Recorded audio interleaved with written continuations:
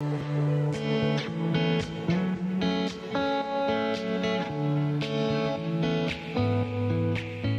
going to go through some common questions about this specific type of internal bra.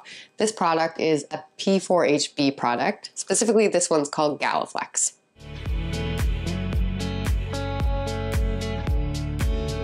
It's an excellent product for breast revision surgery.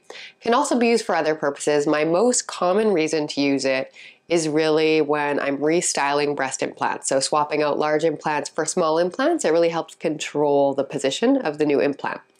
It is a totally dissolvable material.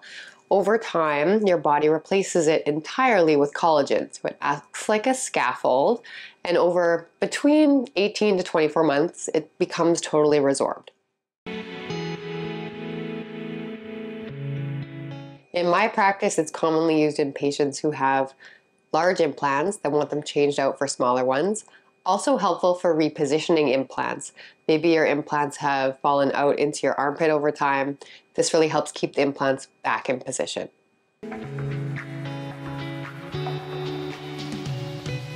A lot of patients wonder, can you have a internal bra instead of a breast lift? Unfortunately not. The internal bra can't be used to replace a breast lift, but it can be used in addition to a breast lift to help prevent long-term droop over time.